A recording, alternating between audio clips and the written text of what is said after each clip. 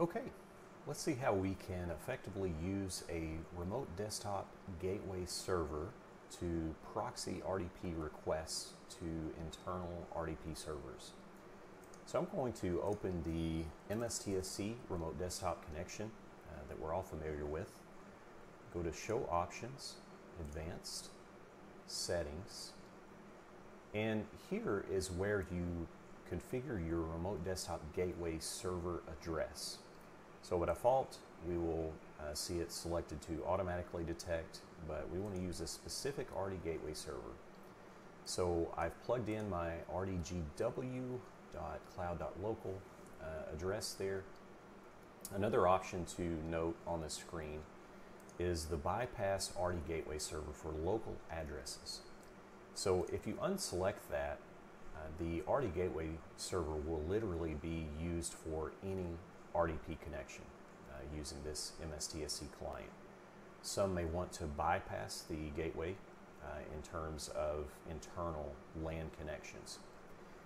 So I am going to leave that unselected because I want to use my RDP gateway for all connections in this, uh, in this use case.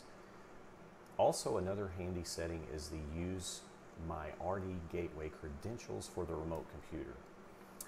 If you have this selected, which is a really handy setting, it will pass through the credentials that are entered both from the remote desktop gateway and pass those to the internal RD, uh, RDP server. So I want to select that. So we're going to leave that selected, hit OK, go to the General tab.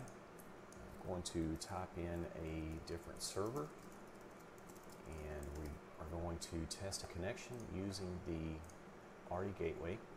Just making sure the settings uh, stuck there. Click connect.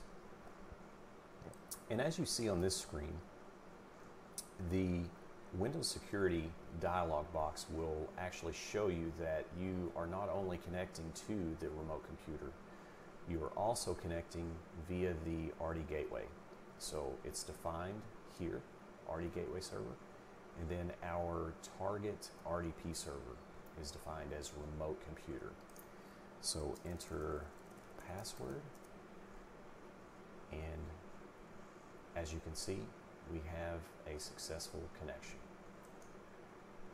So close that and that is how we can use the RD Gateway on a client RDP connection.